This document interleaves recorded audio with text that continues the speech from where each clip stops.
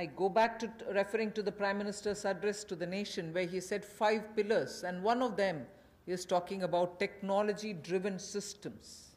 This is one classic example for that, where in order to benefit migrant workers, we are coming up with a national portability of the cards, which is public distribution ration cards can be used in any ration card, any ration shop in any part of the country as you move along.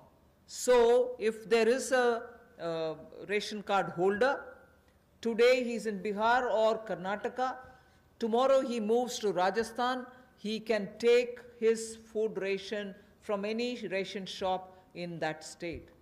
So, national portability, which is now being defined as one nation, one ration card, one nation, one ration card, will be implemented. And by August 2020, which is another three months, within three months, 67 crore beneficiaries in 23 states, which means the 67 crore beneficiary is 83% of all the PDS population that we are talking about.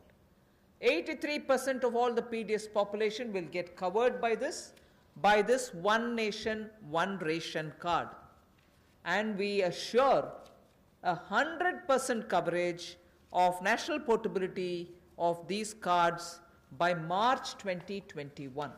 83% is already done. So all the states and union territories will complete full FPS automation by March 2021. आज के समय में